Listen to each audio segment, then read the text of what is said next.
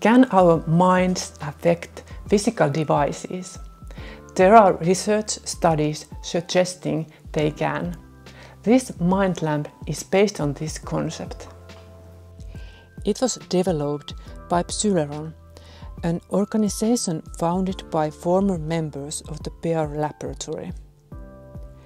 PEAR spent almost 30 years studying the subtle ability of the mind to interact with the physical world.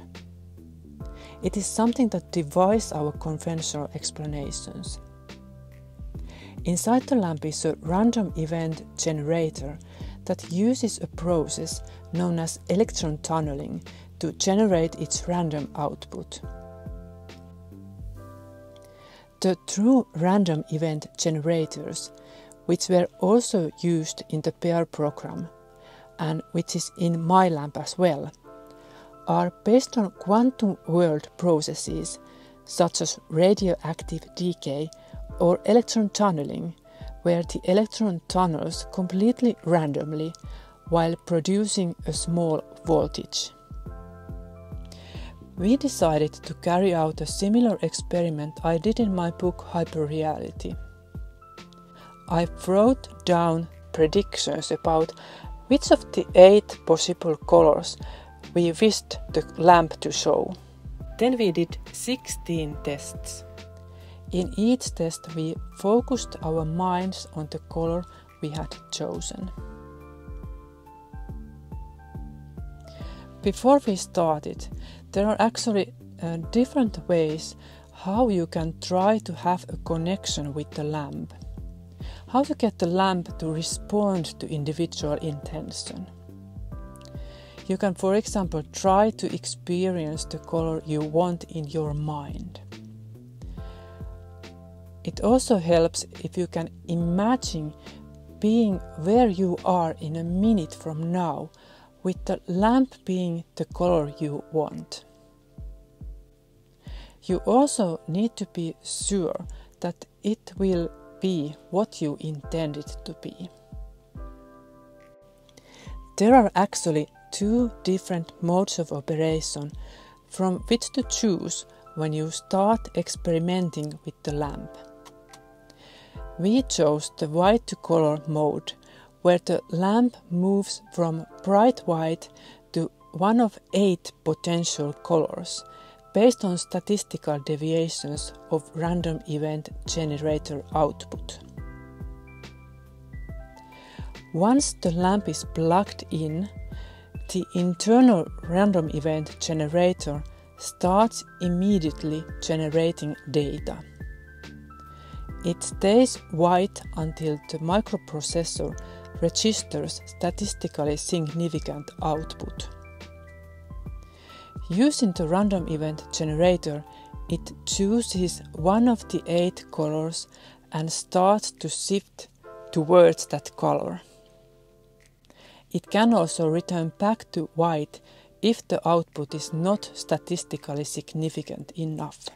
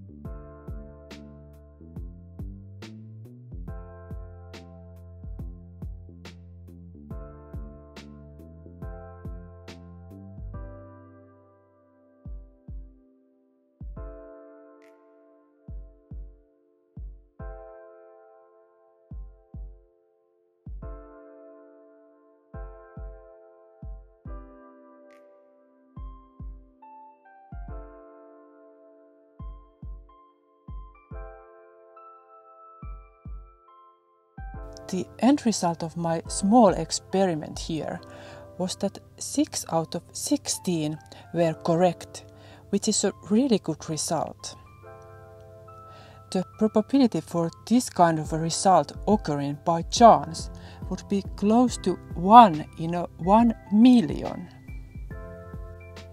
When I did the same experiment in my book, I got 9 out of 25 correct, which was rather good result as well, and odds for that were about 1 in 20,000. We also did one try where we didn't try to influence the lamp, we simply randomly picked colors and results were red. In this experiment, there were only 2 out of 16 correct, which means that the possibility you would get that result by chance would be 1 out of 40.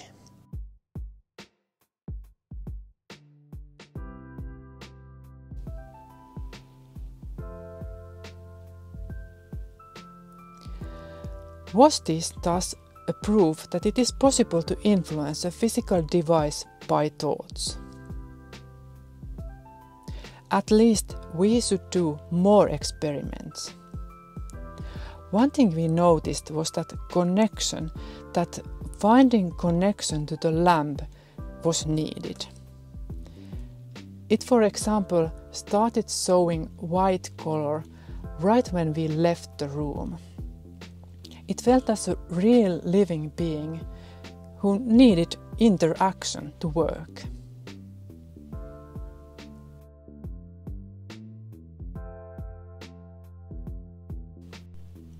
You can read more about how mind affects the physical world, about our reality, and what modern physics tells about our reality and how we should thus live from my book Hyperreality Beyond the Horizon Where Physics Meets Consciousness, and also from my blog. Support my work also at Patreon.